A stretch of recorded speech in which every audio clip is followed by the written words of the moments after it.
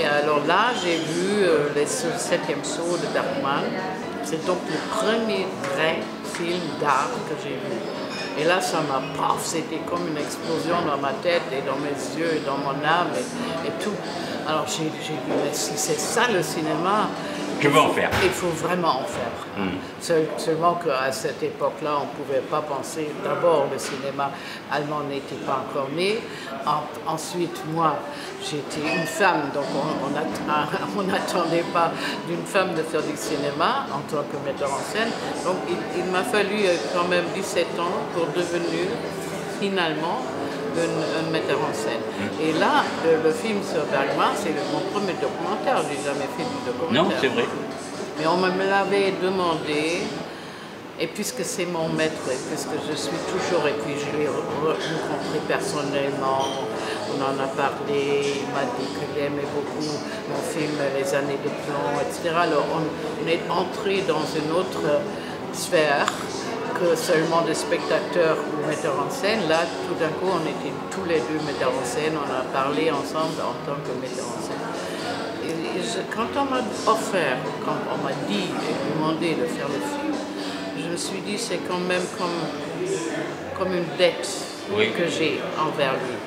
Pour le remercier de ce qu'il vous a fait découvrir. Et, justement, quand vous l'avez rencontré, ça a enrichi, il ne vous a plus quitté après euh, dans votre esprit pour faire vos films Non, non, absolument pas. Et sûrement aussi, quand mes premiers films, euh, il y a beaucoup de gens qui m'ont dit Mais tu, fais des films comme Bergman, tu, tu, es très influencé par Bergman. oui, oui, c'est vrai, c'est vrai. Parce que c'était mon, mon premier grand maître.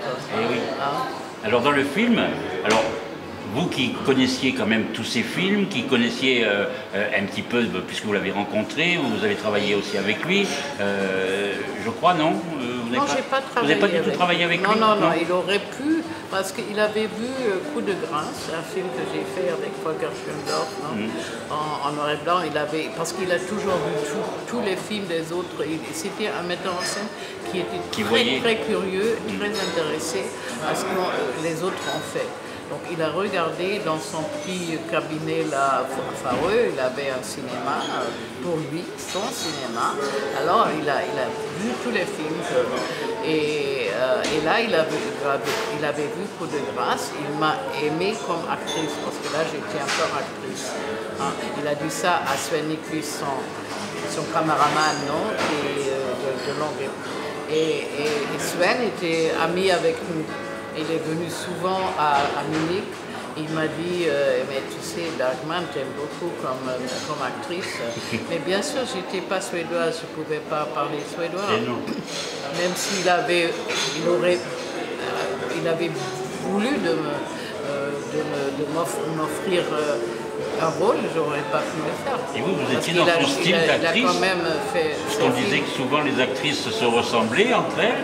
Et c'est vrai que vous étiez un petit peu le, style de, ces actrices-là, de Liv Ullmann, de, tout le monde. Et c'est vrai que voilà, euh, vous auriez pu très bien rentrer devant la caméra avec lui aussi. Absolument. absolument.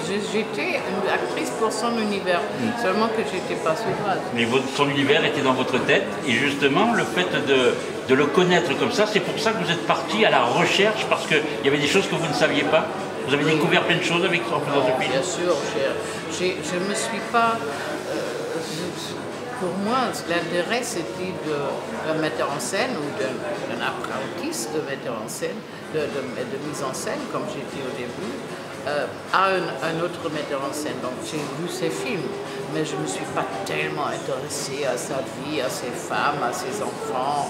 Tout ça, ça ne m'intéressait pas. Oui, puis vous n'avez pas fait de filmographie euh, suivie. Oui, oui, voilà. C'était les films qui Voilà, parler de cinéma. C'est le cinéma. Et là, bien sûr, à, faire ce film, je suis rentrée aussi un peu dans sa vie privée. Et là, j'ai interviewé euh, ses fils, euh, deux fils même, j'ai interviewé Biffleman, j'ai un peu euh, élargi m'a.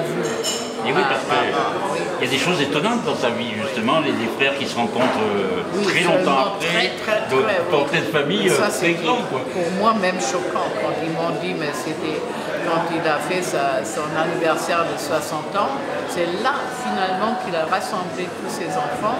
Et c'est à ce moment-là, ses enfants se sont vus et connus pour la première fois. Vous vous, vous rendez compte, vous avez des frères et sœurs et vous les voyez seulement si tard dans votre vie. Et oui, c'est vrai qu'il consacrait sa vie au cinéma. Ben oui, ça c'est ce que vous cinéma et théâtre. Et théâtre, voilà. Alors c'est vrai que j'ai appris, moi je ne savais pas que justement il a fait le du théâtre, il a adapté ses films au théâtre. Parfois, souvent c'est le contraire. Oui, oui. Donc là, lui, il a fait le contraire. et maintenant, quand vous voyez euh, ce qu'on donne au théâtre, il y a beaucoup de théâtres qui maintenant font de ces films des, pièces de théâtre. Alors, il est plus, plus vu au théâtre aujourd'hui qu'au cinéma. Hmm. Et, c'est ce qu'il voulait. il voulait parce que pour lui, c'était Ibsen et Strindberg, et il, voulait euh, être à la hauteur de ces deux-là. Et maintenant, c'est lui qu'on joue beaucoup plus dans les théâtres du monde que Ibsen et. Et oui, c'est étonnant. Hein c'est étonnant. Et en même temps, là, il y a deux films documentaires. Qui, il y en a un autre qui sort la semaine prochaine au cinéma. Le vôtre est déjà sorti il y a 15 jours ou 3 semaines. Donc vous l'avez vu l'autre film qui, est, qui se base sur une seule année oui, oui, il était aussi euh, à Cannes, mais, mais il, avait passé au moment que je, suis arrivée. Donc je sais pas encore c'est pas du tout la même approche. C'est pas du tout la même approche, c'est beaucoup plus sur sa vie privée, d'après ce qu'on m'a dit. Mais bien sûr, je vais aller le voir. Je crois qu'ils sont des. oui, c'est complémentaire. Il y a tellement de choses à découvrir. donc, euh, qu'est-ce qui, vous a le plus surpris en allant à la recherche C'était quand, même quand même, c'était quand même le, fils, le fils qui a. Oui. Daniel. Oui, le discours qu'il a, le rapport de travail avec ton père travail, aussi sa, relation avec ses parents, parce que sa mère aussi, elle était artiste, pianiste, elle n'était jamais là, donc il avait vraiment deux, parents qui ne sont pas beaucoup occupés de lui. Et cette, euh, non haine, mais cette euh, quand même déception dans sa vie euh, envers ses parents, ça m'a beaucoup. Ça m'a beaucoup touché. Alors c'est presque un travail de, documentariste, c'est-à-dire c'est un travail de documentariste, presque de journaliste que vous avez fait là. Donc moi j'aimerais vous poser une question par rapport à vos films, à vous justement. Parce que dans le cadre de vos films, il y a des journalistes, je termine par ça, il y a, des journalistes dans Anna Arendt, on parle de journalisme aussi dans euh, euh, L'honneur perdu de Katharine Nabloud, on en parle aussi dans euh, le film Rosa Luxembourg, et puis il y en a un, quatrième qui est les années de plomb, qui est un de, vos premiers succès. Donc euh, c'est vrai que, pourquoi toujours le journalisme au, sein de votre œuvre Vous l'avez pas fait Je ne me suis même pas rappelé, maintenant que vous le dites, ça me vient à l'esprit que c'est vrai, il y a des journalistes dans mes films. Et c'est pas euh, que je dis, ah, je dois faire un film euh, où il y a un journaliste. Hmm. c'est le hasard. En plus, j'ai jamais fait un documentaire. Non. J'ai fait 29 films ou 28 films en tout et, jamais un documentaire. Donc ça c'est vraiment une, première pour moi. Et je crois que ça va être aussi le, seul film que je, j'ai fait en documentaire. Voilà, pour finir, pour finir, quel est le, le meilleur souvenir que vous regarderiez de Bergman ou d'un de ses films à part le septième saut le, meilleur, souvenir est de, l'avoir rencontré personnellement. Et on a passé une soirée où il m'avait dit qu'il aime beaucoup mon film Les années de et, et, son film, le, film que j'ai choisi, c'était le premier film que j'ai vu.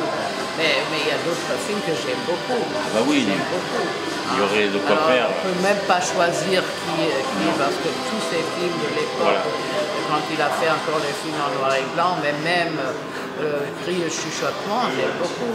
Hein. Et oui, chaque film amène quelque chose de différent. Et c'est vrai que vous avez choisi en plus des images de lui, puisqu'on le voit, quand il parle de cinéma. Et c'est vrai que là, on comprend mieux les choses et en même temps, on va plus à la profondeur de son œuvre. Moi, j'aime bien quand, un journaliste français lui demande et pourquoi vous, venant de Suède, qui est un pays si heureux et si beau et si, riche, pourquoi vous faites, vous faites des films euh, si, si sombres? Il dit, mais j'ai fait des films sur la, sur la condition humaine. Et c'est ça, la condition humaine.